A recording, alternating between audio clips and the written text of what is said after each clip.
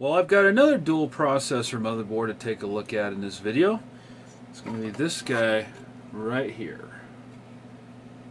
We're going to be comparing this to the P2B-DS. See how this particular one gets along with that. And uh, I also did some tweaking, shall we say, to that board as well. Installing Service Pack 5. That's the tweaking, but it changed a lot of stuff. So let's go ahead and get this video started. The motherboard is an Acorp 6A 815 EPD, dual socket 370 board with a pair of Pentium 3 1 GHz processors installed. Dual socket 370 on an Intel 815 EP chipset. This board is said to also support dual Celerons as well, so I might be putting that to the test at some point in the future. During my research of this motherboard, it would appear, based on AnandTech's review of the motherboard, that when it was released, this was the first company to demonstrate that while Intel's 815 EP chipset uh, did not officially support SMP, that it was in fact capable of doing so.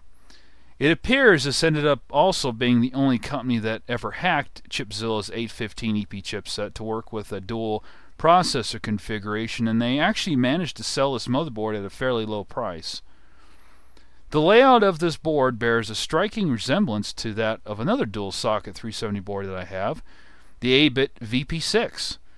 In the case of the VP6, however, the chipset used is a VIA Apollo Pro 133A, which is a more common chipset to find on dual socket 370 motherboards of this era.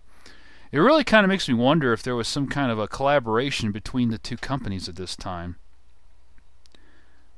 Besides the fact that the 815 EP chipset properly supports 133 MHz bus with a proper clock divider allowing the AGP port to operate at the proper frequency, the real benefit of this chipset is the 4X AGP, as opposed to the older 2X spec on the BX chipset, which allows for higher speed GPUs that simply won't operate on the 2X AGP bus, mainly because of the voltage requirement.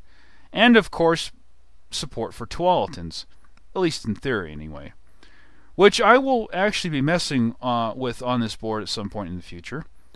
As you will see in the benchmarks later on in this video, the 4x AGP speed actually has no improvements to the benchmarks over the 2x AGP. Sadly, the RAM limitation of 512 megabytes, well, that, that does suck, but 512 megabytes of RAM is, is really plenty for this era of games anyway, so it's, it's not a big deal for me. The P2B-DS motherboard that I demonstrated in the previous video has proven to be somewhat unreliable, unfortunately. I suspect after doing a hell of a lot of work try to, trying to uh, resolve the issues of the blue screens that I kept having, uh, that the capacitors might be causing the instability, as the motherboard will randomly go apeshit on me, uh, often after just, you know, cold start. Um, but if I let it sit powered on for a few hours and then start using it, it manages to run perfectly fine. So I, I really don't know what's going on with it, but the capacitors seem to be the likely possible candidate given their given their age as to why this is uh, happening anyway. So far, I have absolutely no issues whatsoever in the stability department on the Acorp motherboard, uh, which is a good thing. The BIOS on this board is a bit limited, but it's it's got some nice options in it. It's it's it's pretty average actually, but it allows for some tweaking of the memory timings, and it does have a jumper-free bus speed uh, in the BIOS there, but it doesn't have any voltage adjustments. So overclocking on this board would be pretty limited due to, to the uh, lack of voltage adjustments. It does have jumper settings on the board for base clock speed, and it would seem the bus speed option in the BIOS starts from that point that's set on the motherboard, in this case 133. I haven't messed with the jumper yet to see what the full range in the BIOS actually ends up being, though it, it does appear to go up to 160 megahertz, which is pretty nice. Whether it can actually operate at that speed, who knows? Maybe I'll tinker with that at some point in the future, but for now it's working fine as it is, and I'd like to, you know, at least manage to get through the benchmarks without too much grief. The board also has an onboard Promise FastTrak ATA 100 RAID controller, which is a very good controller, but I'm not using it uh, in this video. I'm choosing to stick to the Intel ATA 66 onboard instead there. As sort of a baseline to compare this motherboard with, I am including the results from the Pentium uh, 3 the P2BDS there, but with revised uh, benchmarks. As I have since done some fiddling and fixing to try to get more stability out of the board. Uh, installing SP5 on Windows 2000 yielded a totally different result in all the benchmarks due to, uh, I think, the bundled DirectX 9C. Uh, whereas before I was running 81B, and as you will see, it benefited in some of the benchmarks, whereas others it kind of hit the performance a bit, and in some cases it was quite a hit. The video card is once again the Prophet 3 GeForce 3 video card, 64 megabytes of RAM. Uh, Sound Blaster Live X Gamer. Benchmarks are ran with the sound on just like they were in the last video with the P2BDS.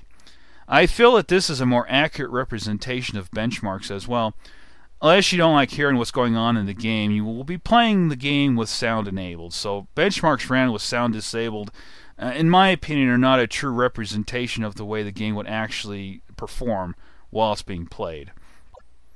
I also ran the benchmarks with Windows XP Professional to give you kind of an idea of what the performance difference is between 2000 and XP. Since this motherboard has an AGP4X slot, it allows me to also run benchmarks with the best AGP card that I own, the GeForce 7800GS, to show whether or not the GeForce 3 is holding back the performance of the processors a little bit there.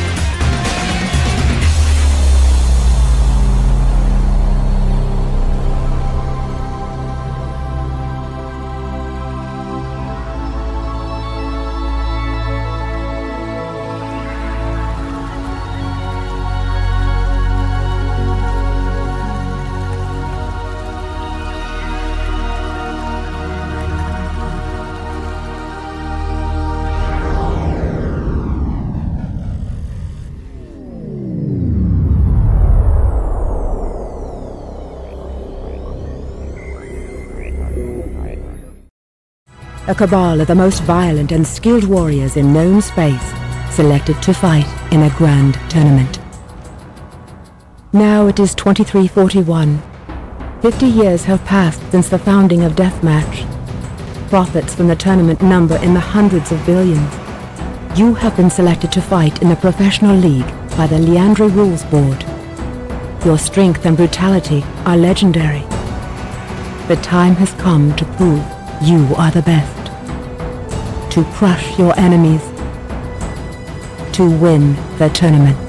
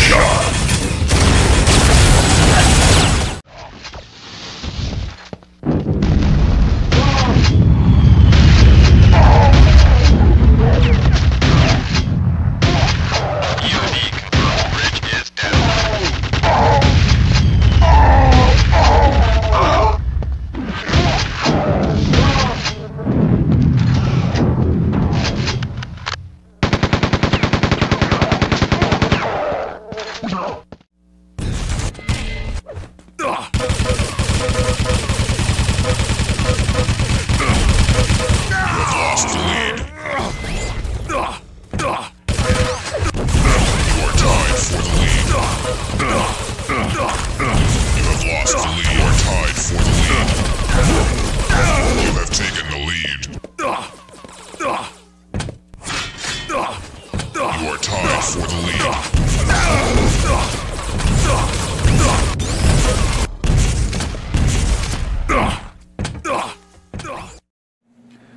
Well, as you can see from the benchmarks there, that Windows XP does hit the performance a little bit, and installing Service Pack 5 on Windows 2000 yields a completely different benchmark result, except in Unreal Tournament. That's seems to be CPU bound or bus bound or something, because it performs identical pretty much on all these mother these two motherboards and all these uh, both these video cards.